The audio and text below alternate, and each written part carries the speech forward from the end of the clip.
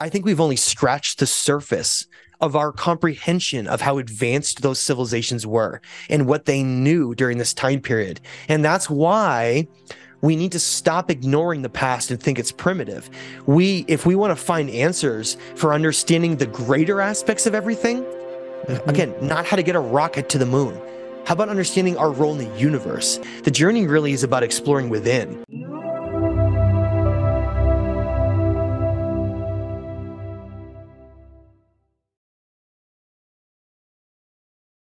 Like to welcome to the show Matt LaCroix. How you doing, Matt? Hey, it's great to be here, Alex. I'm really excited for this conversation today. Me too, my friend. Thank you so much for coming on the show, brother. I, I am I'm excited to talk about some of my favorite topics about ancient civilizations, spirituality mixed in, origins of humanity, all sorts of amazing stuff.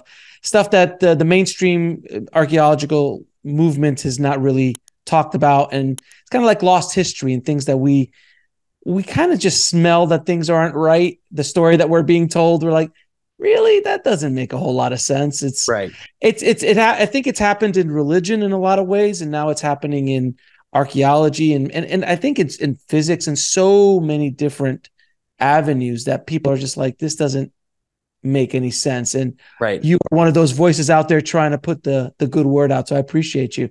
Uh, so Thank first question, so first question, man, I have to ask you, how did you start your journey down the ancient civilizations rabbit hole? For me I, I, sort of fell into it really knowing where i was going to go. It just it just came into my lap. I remember being a kid and being absolutely fascinated beyond belief just eh, almost like a bit subconsciously too because i didn't really understand why i was fascinated by it. It was you know i was young but watching watching things like stargate and watching anything related to an ancient civilization even things like indiana jones with them looking for ancient artifacts it was always speaking to something in me that was very powerful powerful. But it wasn't until years later, with an open mind and with all these curiosities, and like you said, maybe questioning things and wanting to know more. And that narrative led me to falling into this entire career that is now a full time career for me trying to establish that the, so that the the mainstream narrative understands this entire lost chapter our story a, mm-hmm. uh, a lost chapter that is very mysterious and unknown that goes back to these points of aspects of of us that seem to have been lost later on. And not this primitive start but this more sophisticated divine nature of who we knew we were and what we were doing building these giant pyramids and temples. Whereas later on even though we may be technologically advanced now with all these phones and computers I don't think we really understand who we are like they did. And now, in some of the discoveries that we're going to talk about today, some of these cutting edge, new, incredible things that are happening is unveiling that mystery in a way that's never existed before, where we're actually peering in and being able to look at evidence from a wide variety of different places, whether it's ancient texts or archaeological discoveries, or even just ancient biblical narratives. We're looking at something we can tie in a lot of different things, rewrite the narrative, and say, look, we have an entire lost chapter of our history that seems to be multiple epics, not even just one little piece that we have had that has been lost so much over time that we have almost forgotten who we are and where we come from and how far back our story goes. So I think that one thing from the work that I do on my show, I've speaking to so many different spiritual masters and people from different walks of life, from quantum physicists to channelers and other people. And the one thing that the constant narrative that I keep hearing is that we are in a great consciousness shift, that we are all lifting up um, our awareness. And I think this is getting caught up in that because you need to question what has been told to you because you're now awakening to truths that are undeniable. And right. and these artifacts are starting to now appear today, not a hundred years ago, which they would have probably cracked over, walked over, not even thought about. And the narrative of the the narrative of the of the pyramids being uh, tombs uh, basically was just a, a few guys, uh, a few guys from England. I it was think, actually right? a forgery. Yeah, it wasn't even real. In yeah, the 1800s, it, they actually forged the name Khufu, found inside the chamber below the king's chamber, and it was actually never really written in there. And there was a right. lot of speculation and evidence that that entire story is, is actually a complete forgery. And isn't it funny that every single temple in Egypt that houses anything has hieroglyphs everywhere telling you all the propaganda of how they built it and what's going on and this and that. But in the Great Pyramid, there's nothing, to my right. understanding. There's just nothing. Not a all three of the tomb. Great Pyramids have nothing to do with the dynastic pharaohs at all. They're from right. a completely different time period, and right. none of them have any writings. Anything that was written later is from a later time period, such as this, the Great Sphinx, which was never actually supposed to be a sphinx, like it's shown with a, a pharaoh's head. It was you can see the proportions of the body versus right. the head are extremely off, showing you that they later carved the head to be a pharaoh, which we find a lot of evidence that used to be a lion. But it's just showing you that thousands and thousands of years go by, right? Where maybe a civilization had been destroyed in some catastrophe. And they have all these ruins, these remnants of incredible megaliths and temples and all these things. And these other groups come through later and find these ruins. And they know how sacred and important they are. And then they build right on top of them. They carve their own information in. And hmm. then thousands of years later, we confuse them with being the original builders of those, which is not the case.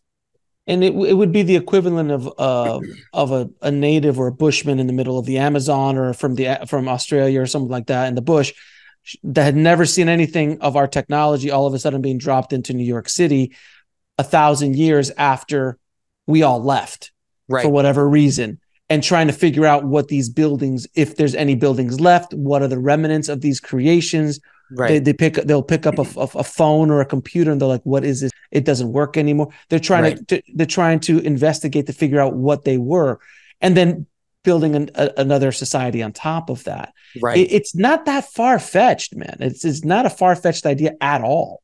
Well, but it's it's being fought very, very rigidly is. by this doctrine of archaeology. And I think that's something we just need to establish to understand because so many people ask me, why would you hide all this? Why would this not be something that's accepted by the by the mainstream narrative?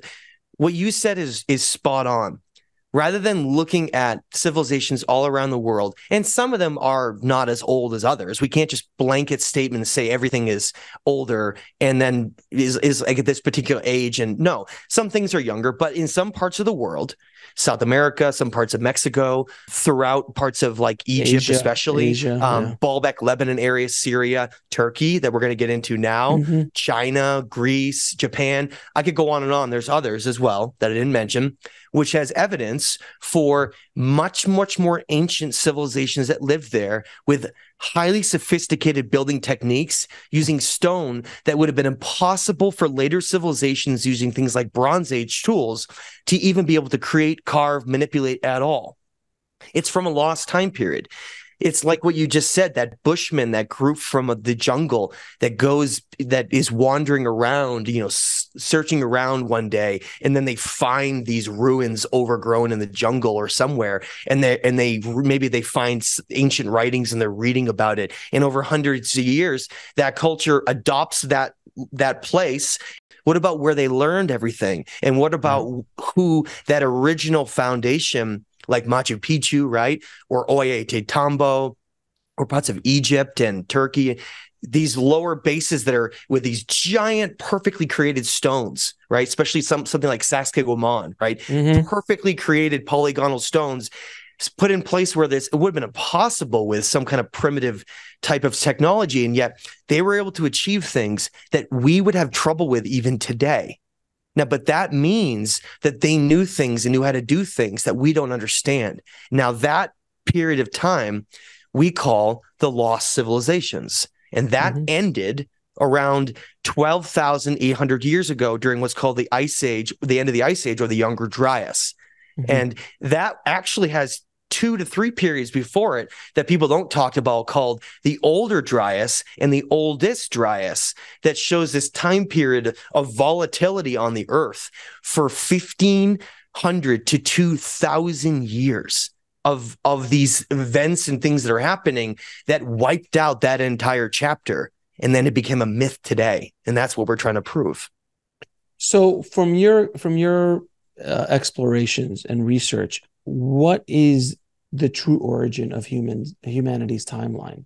I mean, because we've been told we started around uh, six to ten thousand years ago, there was some hunter gatherers Right. back in the day, and we went and then we started we started hunting gathering, some agriculture, and we kind of grew into where we are today. Kind of very evol- evolutionary, um, but that doesn't line up with these pieces, these large pieces of evidence that are being discovered around the world, like No. the main Great Pyramid. That is so undeniably you can't even try to create that today. Like it's it's No. such a you can't you can't just look at that and go, Two and a half Oh. million stone blocks, an average of five to Oh, ten uh, tons each. and let's not even talk about the the perfection of where it was laid, where it's true north on the 30th Aligning to parallel. perfect star constellations, yeah, right? yeah, yeah, all of this insane stuff that we couldn't Right. even have done 60 or 70 years ago, 100 years ago, we probably couldn't have done Now, these calculations. Now would be almost nearly impossible to I do. don't think we could get it as nearly as close as they got it with mathematically being like a half ratio of our planet, being perfectly like um, designed to be this harmonic resonant aspect of like half the, Right. the ratio of the earth, but also representative of like th- the above and below aspects of energy of the planet. It's wild when they created those because we truly don't even know the functional the functionality and purpose of it today. We have theories on things like the king queen's chamber, but why do they have these star alignments to things like Sirius and Orion during specific time periods when we have no idea why they even built it in the first place? I mean, energy, other things, we have theories, but we don't fully know today. So, what you do if you're this primitive civilization is you somehow manage to not only know where the 30th parallel is, know exactly the ratio of the earth, the moon, the sun, but you also somehow have woven that into the designs on the ground to match the stars in the sky.